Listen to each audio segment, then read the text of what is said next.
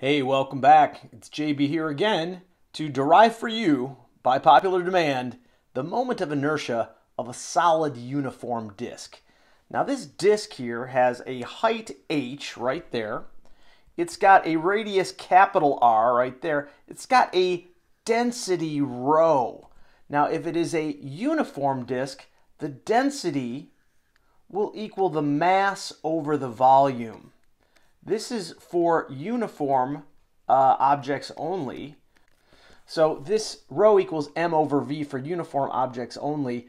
I'm going to actually erase that uh, because that is not generally the case. You can have changing densities. Now we want to remember here that the moment of inertia for a bunch of discrete objects is equal to the sum of the masses of the objects times their distance away from the axis of rotation squared for each of those objects. And you just add all those up. But for a solid object, we have our little discrete masses that are all infinitesimal. And so we're going to rewrite this for a continuous object. I is going to be the integral, adding up all infinity little uh, moments of inertia of all the infinitesimal masses. I'm going to write it like this. It's you take each little infinitesimal mass, dm, and you multiply that by its respective r squared, its distance from the rotational axis, or displacement from the rotational axis r. Uh, typically, uh, this is written like this because we're so used to having it, uh, the dm right at the end. Usually write it like this, but you really need to see the similarity of this thing with this right up here. Those are really the same thing, but this is for this one right here is for infinitesimal masses, a an infinite number of them. So what one one of our uh, main challenges here is to figure out how to express this little dm, the mass, the infinitesimal mass of something a distance r away from our rotational axis. Well, let's take a look at our, our object right here. Uh, this is what we're looking at here and I will pose to you what is the shape of an object that is a distance little r away. So notice that I distinguish between big R, the, uh, the radius of this solid disk, and little r right over here, which is the all the radii that are possible on this, and you may see that they're going to start from 0 and go out to big R, but that little r right here is a variable. So what is the shape of an, uh, the part of this thing that's all r away? Well, to do that, we're going to need to take a, uh, a look at it from the top of this thing. So it looks like this. Looks like a circle from the top. And uh, again, we are, uh, it's rotating about its center of mass. I should have mentioned that before because the moment of inertia would be different if it wasn't rotating about that point. Um, and um, the question is, what does this piece that's all the same radius away from that axis of rotation look like? Well, it looks like a cylindrical shell. A cylindrical shell looks something like this. It's I'm going to try to draw it on here. Uh, it's a cylinder with infinitesimally thin walls and it goes down like that and it's got a it's got, it's basically just a uh, one shell. If you add up infinite numbers of those with increasing radii that will total up to this whole cylinder. So that is what my cylindrical shell looks like. What does it look like from the top there? It is a ring and it's got some width to it, very, very narrow width, in fact, infinitesimal width, because we need this all to be the same radius away, the same r away from that axis of rotation. So let's call this, that distance r. And let's call its width right here. How wide is this thing? Again, it's infinitesimal. We're going to have to call that dr, that width of that infinitesimal ring. Of course, it goes down into uh, this circle goes into the screen here. So its height is also h. So we got to figure out how to express the mass of that infinitesimally thin shell that is cylindrical in shape. How to do that? Well, and that, that's basically what we need right here. We need to express that dm, uh, the dm being the infinitesimal mass of that infinitesimally thin shell that is cylindrical in shape. How to do that? Well, you might uh, start with what's the area of this infinitesimally thin ring here? Because if we get the area of that ring and we multiply it by h, the height, how deep it goes into the screen here, then we'll have the volume of that thing. Uh, and then once we get the volume, we can figure out the mass of that thing. Uh, so uh, to review that, what we're after here is dm, which is going to be uh, just rho times the infinitesimal volume of our thin uh, cylindrical shell. And how are we going to express that? Well, that's just going to be the rho, which, by the way, doesn't have to be a constant. It could be a changing rho. In this case, it is a constant, times the height of this thing times the infinitesimal area dA of that ring. So it's just rho times dV, where V is the, the infinitesimal volume of our ring of height h, and that is just rho times the height h times dA, the area of this this thing right here, that ring, that that ring right there. So how can we express dA, the infinitesimal area of that? Well, you might guess, well, we're going to just do pi r squared outer minus pi r squared inner. We can't do that. I'm going to just write that down. That's wrong. Pi r squared outer minus pi r squared inner. Don't write that down because that is wrong. This thing has the same inner and outer radius. That equals zero. That cannot be it. In order to figure this out, what I'm going to do is I'm actually going to cut this ring right there. I'm going to cut it right there. And that's going to give me uh, a strip. Let's go ahead and draw this strip that we have here. It's this long here. And this is these ends are where I cut it there. And this little strip that I've just stretched out, I took that circular strip and stretched it out.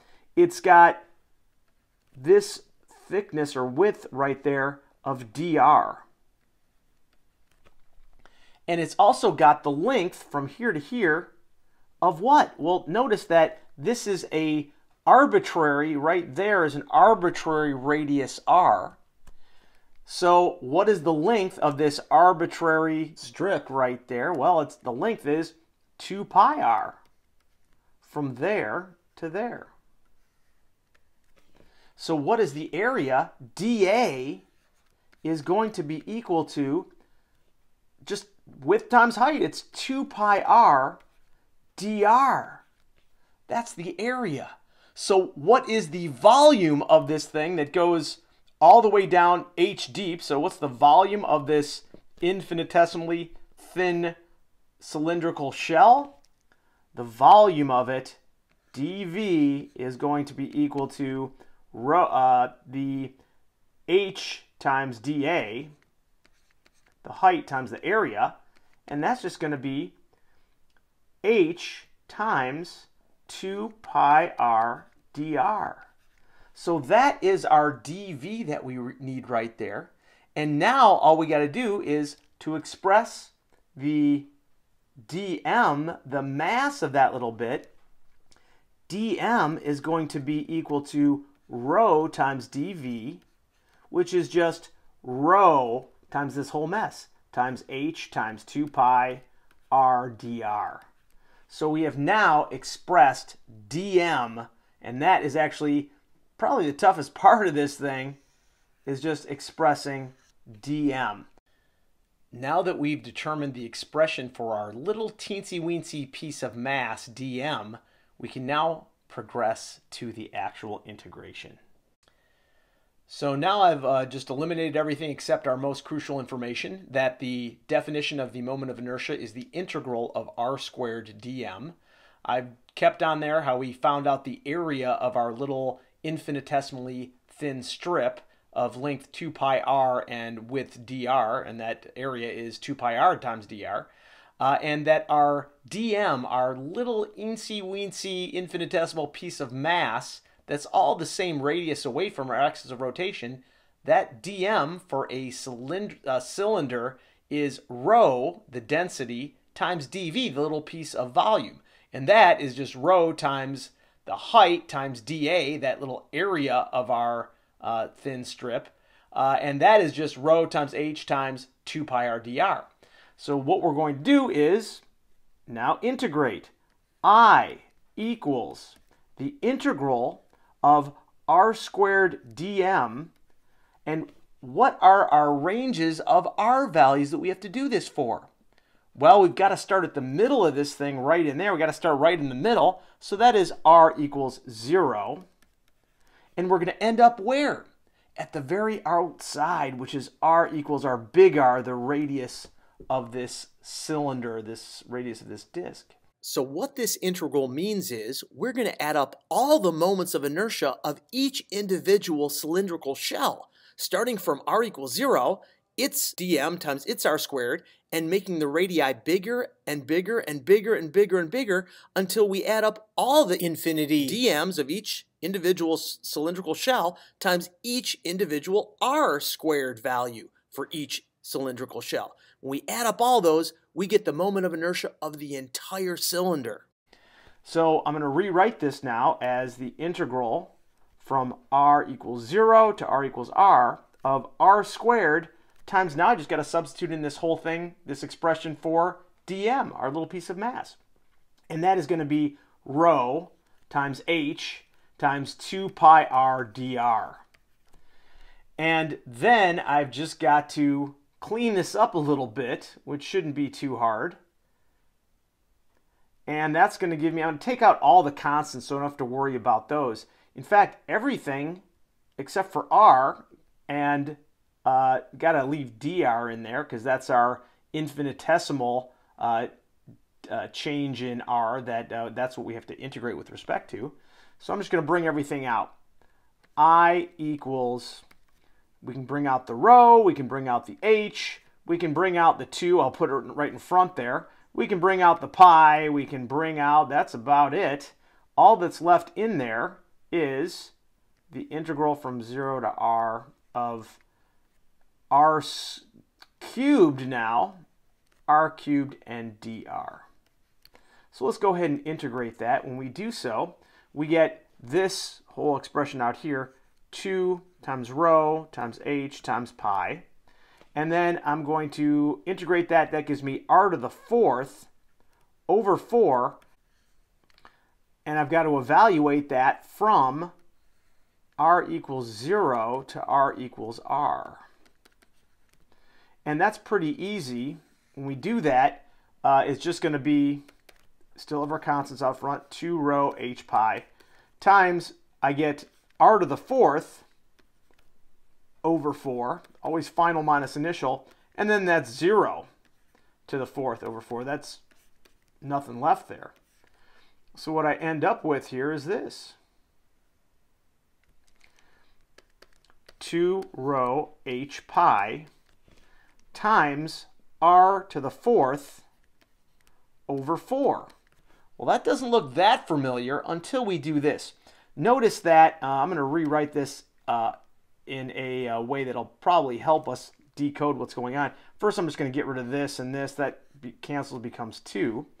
I'm going to rewrite this like this, and you'll see why in a minute. I'm going to put this uh, pi out front here. I'm going to take out two of those r's, make it r squared, and then I'm going to make that, put that h right there. And then uh, that, then I'm going to put the rho here, and it's all over, and I have another r squared that's over 2. And that is an equivalent expression, but what the heck is this? Pi r squared h, and what the heck is this? Rho.